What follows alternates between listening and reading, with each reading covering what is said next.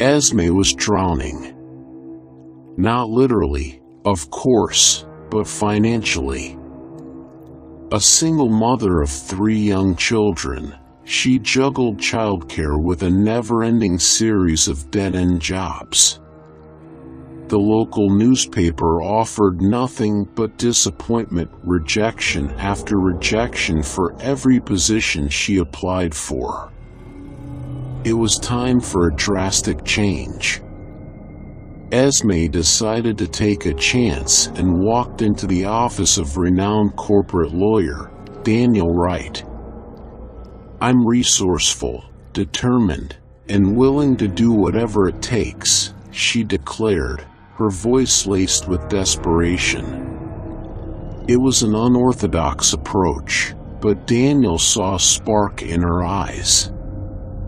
Despite the unconventional job application, Esme landed a position as a file clerk at Wright Law. While the work was mundane, organizing documents day in and day out, Esme wasn't one to settle for mindless tasks. Her sharp mind craved stimulation. One day, while sorting through a box of legal papers, she stumbled upon a curious inconsistency. Medical records were haphazardly mixed in with property deeds, a blatant violation of standard filing procedures. Curiosity piqued, she delved deeper. The documents belonged to a small town called Willow Creek. A colossal corporation, Titan Industries, was aggressively acquiring properties there.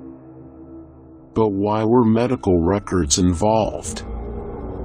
As Esme delved further, a chilling suspicion arose. It seemed Titan Industries was buying up land at an alarming rate, and the medical records belonged to residents who were inexplicably falling ill. Esme couldn't sleep that night. Was Titan Industries hiding something? Were the residents of Willow Creek in danger? Torn between her responsibilities to her family and a growing sense of injustice, she knew she had to do something. Consulting Daniel, she shared her concerns.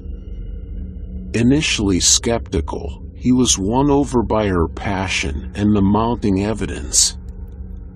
Together, they embarked on a clandestine investigation. Esme, with her disarming demeanor, visited Willow Creek, speaking to residents about Titan Industries and their recent health concerns.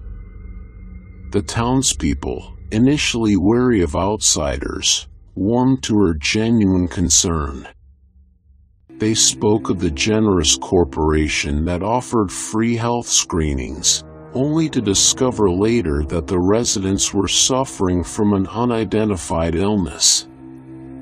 Esme realized Titan Industries wasn't the benevolent company they portrayed.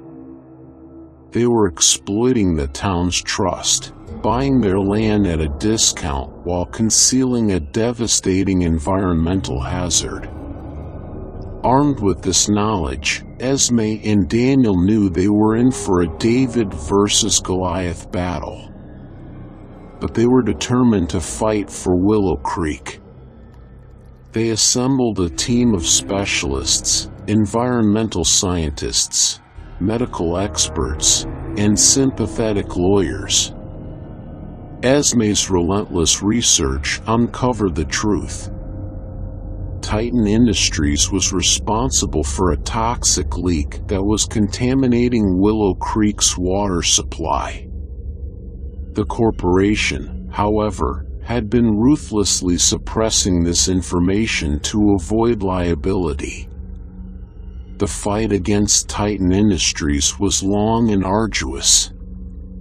Threats and intimidation tactics were employed by the corporation, but Esme and Daniel persevered.